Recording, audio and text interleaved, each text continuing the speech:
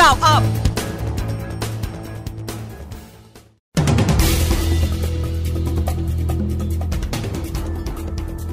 8นาฬิกา4นาที พันเอกอธิสิทธิ์เผยนายกรัฐมนตรีห่วงสภาพจิตใจประชาชน ตามข่าวเลือกตั้งจัดตั้งรัฐบาล วันถกเถียงกันจนเกิดขัดแย้ง อยากให้เป็นช่วงเวลาที่คนไทยมีความสุข ใกล้งานพระราชพิธีแล้ว 8นาฬิกา19 นาที ผู้เสียหายถูกสาวไทยโกงแชร์ที่ออสเตรเลียพบอายการขอคำปรึกษาด้านกฎหมาย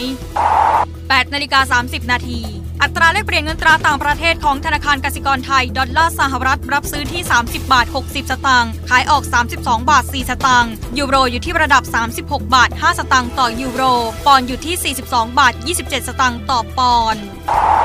8นาฬิกา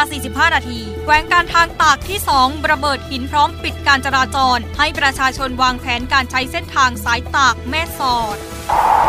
ล่าสุด8นาฬิกา56 นาที กระทรวงพาณิชย์เผยราคาสินค้าวันนี้เพิ่มขึ้นหลายรายการเมื่อเทียบกับวันก่อนหน้า ถั่วฝักยาวเพิ่มขึ้นเป็น 40 บาทถึง 42 บาทต่อกิโลกรัม